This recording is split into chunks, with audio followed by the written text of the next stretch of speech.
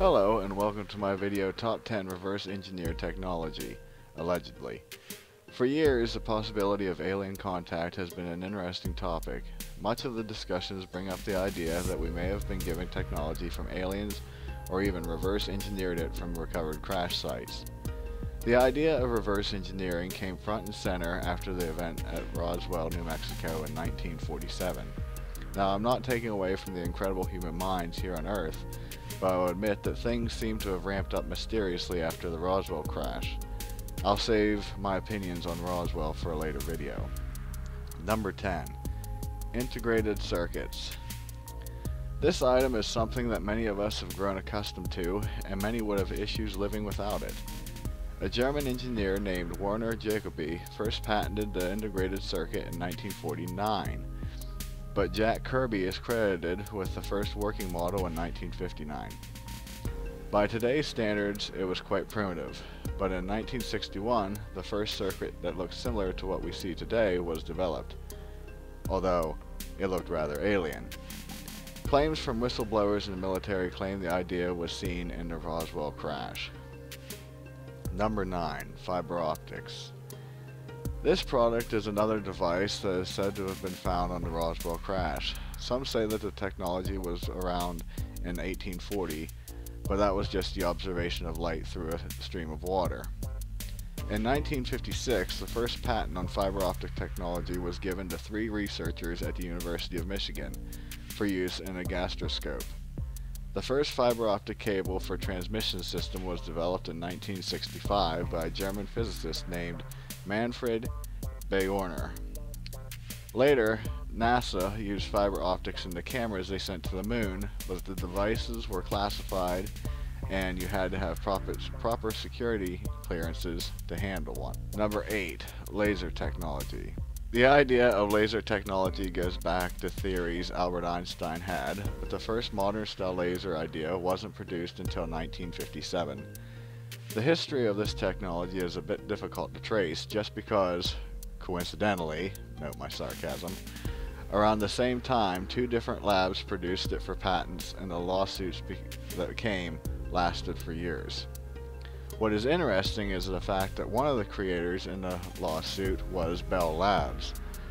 Bell Labs has played a part in most of the technology on this list, many of which were quotations discovered not long after Roswell and have strong ties to the military.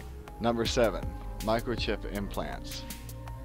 This topic is quite popular in the public eye as of recent.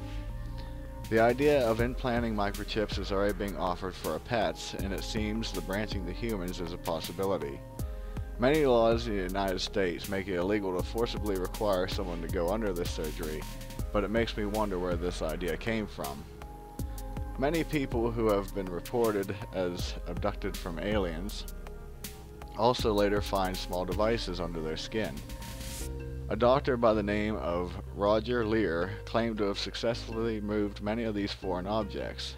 He stated that most of the materials he pulled out emitted radio signals. I actually had to have a chest x-ray when I cracked my ribs, and when the doctors looked at the image, this is what it looked like a black box with three wires coming off the top. And no, I don't have a pacemaker. Since I was about 12 till present, I have four bumps just under either side of the rib cage on my stomach.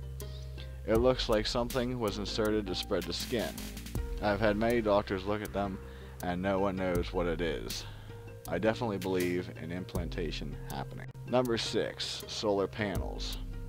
I'm not so sure about this item, only because it sort of can go either way. Forms of solar utilizing devices have been around since 1839, but these devices were used mainly for heat. From my research, it appears early devices were more like a magnifier in the sun principle. It wasn't until the 1950s when, you guessed it, Bell Labs produced the form not long after the system was used to power many of the crafts that we put into space, with the Vanguard 1 being the first satellite equipped with them. Number 5. The SR-71. This topic recently came up during a conversation I had had with my dad. The SR-71 was first flown in 1964. This airplane was way more advanced in design and technology than any other planes at the time. Not to mention, it looks like a UFO when you look at it from the front. The closest thing to this plane at the time was the Lockheed U-2S, but it still resembles the planes of today. These planes were developed by Lockheed Martin's Skunk Work facility. This facility is a top secret area that is described as, and I quote, a group within an organization given a high degree of autonomy and unhampered by bureaucracy, tasked with working on advanced or secret projects. It is interesting to compare this craft to what was available at the time. Number 4. The saucer shape. In doing research on this topic I found many sources for alien tech, but no one ever discussed this idea. When asked to describe a UFO, most everyone states the saucer shape. While I think that about 50% of sightings are from our own military, it begs an interesting theory. It seems the saucer shape may have been inadvertently given to us due to it being the common shape of UFOs. A designer by the name of John Jack Frost started work building the Avrocar in the early 1950s. This craft looked exactly like a UFO, and it soon garnered the attention of the military who funded the project. After the plant encountered financial difficulties, the military pulled funding and gave the money to the, here it comes, Bell Aircraft Corporation. Number 3. Night Vision. The first form of night vision was developed for the German Army in 1939, and it was later adapted in the US military and called the Vampire Man Portable System. As you can see from the images, this technology really wasn't night vision as it utilized an external spotlight. It wasn't until the mid-1950s when actual night vision scopes were given to the military. It should be stated here that once again it was reported that the pilots of the crash in the Roswell accident had night vision technology in the form of almost a contact lens. Number 2. Titanium.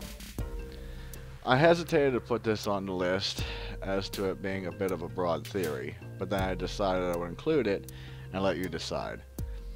Titanium was discovered in 1791 and was later added to the periodic table.